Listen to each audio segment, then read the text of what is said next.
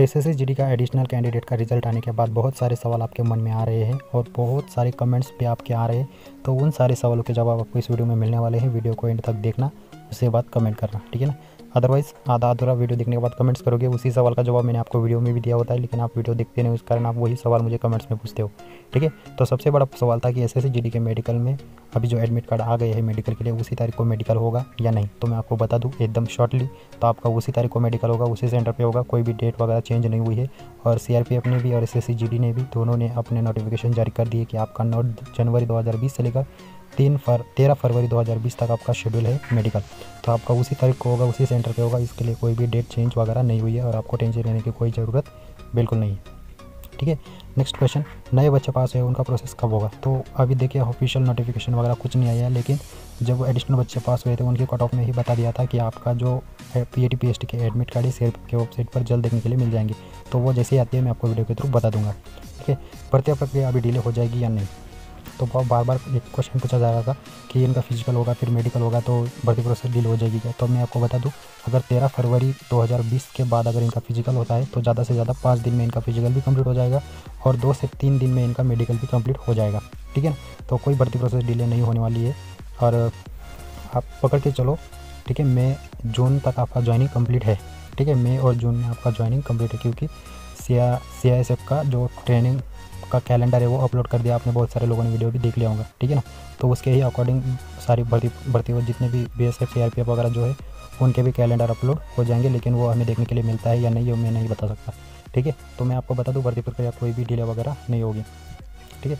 देखिए, भर्ती प्रक्रिया डिले इसलिए नहीं होगी, क्योंकि आप सबको पता है, उन्नीस हज़ार बच्चे पास हुए जिनका P T P S T कितना हार्ड होता है, आप सबको पता है, और उन्नीस हज़ार में से ज़्यादा से ज़्यादा पाँच हज़ार बच्चे पास होंगे, जो कि रेस में पी हाइट चेस्ट वगैरह सब में क्वालिफाई करेंगे और ये बच्चे जो है अभी मेडिकल के लिए हमारे साथ ही आएँगे। मतलब तेरह फरवरी 2020 के बाद ही मेडिकल के लिए आएँगे फ़िज़िकल के लिए आएँगे, ठीक है ना?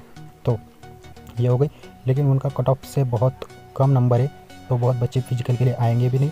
और उनको पता है कि हम फाइनल में सिलेक्शन नहीं हो पाएगा, कम नंबर इस कारण वो अभी आएँगे भी नहीं। क्योंकि एस का रूल है और बच्चे उनको पास करनी थी तो वो सिर्फ़ अपना रूल निभा रहा है और अदरवाइज़ कुछ भी नहीं, ठीक है ना?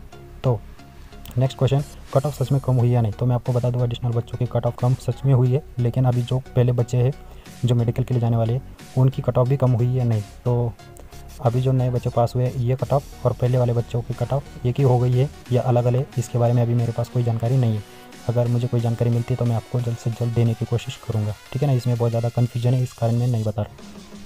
नेक्स्ट क्वेश्चन फ़िज़िकल कितने दिन चलेगा? तो देखिए अगर अभी जो एडिशनल बच्चे पास हुए इनका फ़िज़िकल ज़्यादा से ज़्यादा पाँच दिन में कंप्लीट हो जाएगा। ठीक है ना? ज़्यादा से ज़्यादा पाँच दिन में कंप्लीट हो जाएगा। इंडिया में सौ सेंटर है और सौ सेंटर्स पर अगर रोज़ भी चार सौ बच्चे बुलाए तो इनका ज़्यादा से ज़्यादा पाँच दिन में कंप्लीट हो जाएगा।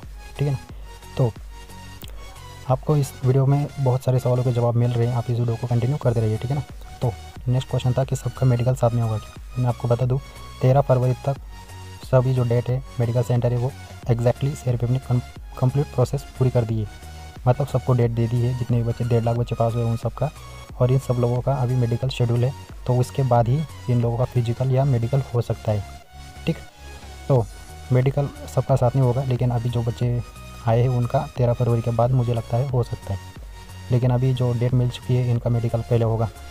जो भी उनको जो डेट मिली, उसी डेट को उनका फ़िज़िकल सॉरी मेडिकल होने वाला है, ठीक है ना? तो मेडिकल कितने दिन चलेगा इन लोगों का?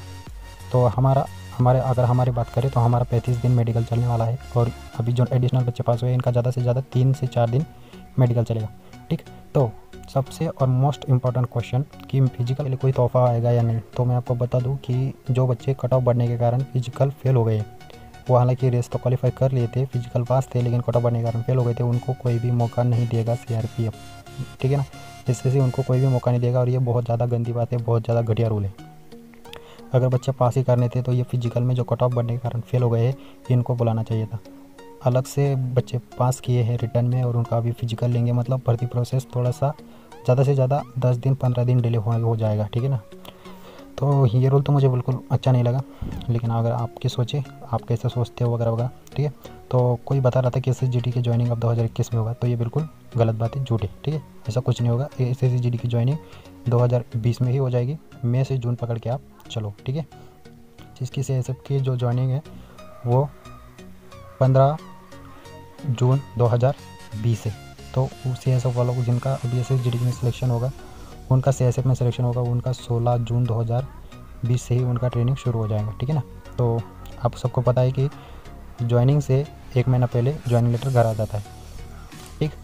तो आज की वीडियो में मैंने आपको बहुत सारे सवालों के जवाब मिल दे दिए तो अगर आपके कोई भी सवाल फिर भी रह गया तो मुझे कमेंट्स में ज़रूर बताना और आज आज की इस वीडियो को अपने दोस्तों के साथ शेयर ज़रूर करना और लाइक सब्सक्राइब करना आपकी मर्ज़ी।